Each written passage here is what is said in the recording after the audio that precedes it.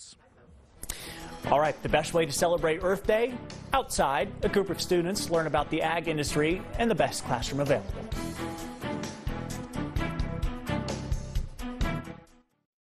Some students in Lakewood are starting to figure out what's next after high school.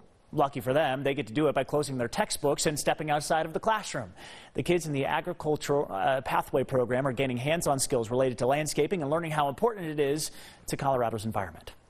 These students aren't afraid to get their hands dirty, even though it took them a little while to realize it. First couple of days, I thought it was the weirdest class ever, and I hated it with such a burning passion. Fast forward three years, and both girls want to work in the agriculture industry, like these guys. Landscape professionals helped put the finishing touches on a project that's been in the works for three years.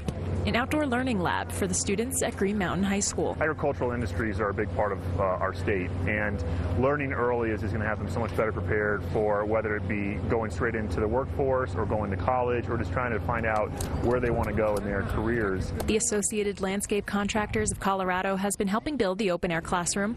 It'll have pathways, garden beds, and even a chicken coop. We use it for learning hands-on skills on landscaping, planting, gardening, maintaining it, harvesting, all that fun stuff. The principal says about 150 students are enrolled in the Agriculture Pathway program and nearly 100 more on the waiting list. It's just an awesome experience to be able to come out here and kind of get our hands dirty in class rather than sitting and reading a textbook. In rural Colorado, it's part of the culture.